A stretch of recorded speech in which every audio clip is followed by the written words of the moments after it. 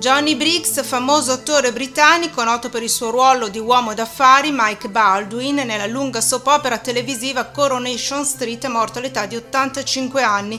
La famiglia ha riferito che l'attore è deceduto questa mattina dopo una lunga malattia. Briggs ha recitato in Coronation Street per 30 anni.